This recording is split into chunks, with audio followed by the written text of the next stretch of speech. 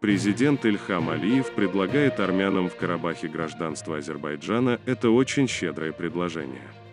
Как сообщает Тренд, об этом сказал журналистам в Баку известный российский политолог, телеведущий и общественный деятель Максим Шевченко на встрече в центре Гейдара Алиева. У вас огромные перспективы национального строительства, становления по-настоящему современной нации единого Азербайджана, в котором проживают люди разных этносов, говорящие на разных языках, но ощущающие Азербайджан своей родиной.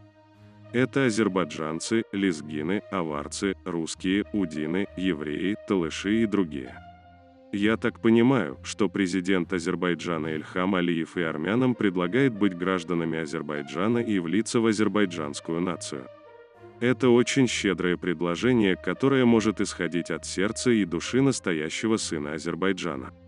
Когда заканчивается война, делается предложение «давайте забудем зло и будем идти к будущему».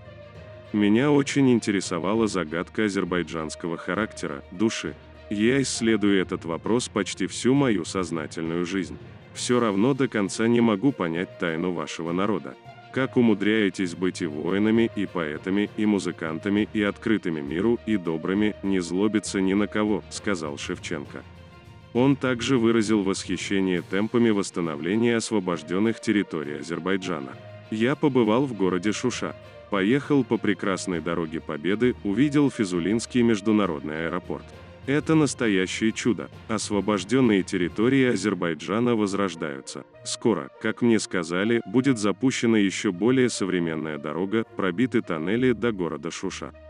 Там я видел ребят, которые работают, восстанавливают.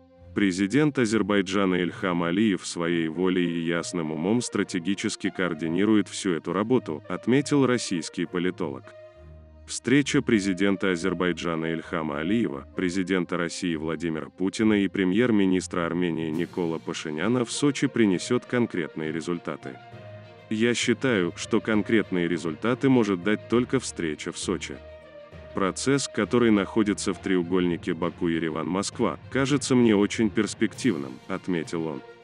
Касательно тем, которые, как ожидается, будут обсуждаться во время этой встречи, Шевченко подчеркнул, что делимитация границ является важнейшей темой.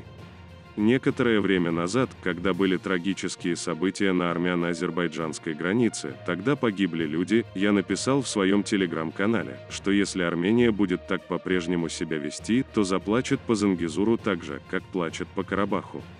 Там была бурная реакция. Но это же правда. Война ничего хорошего не принесет для армян, сказал Максим Шевченко. Подпишитесь на наш канал Будра News и будьте в курсе всех событий.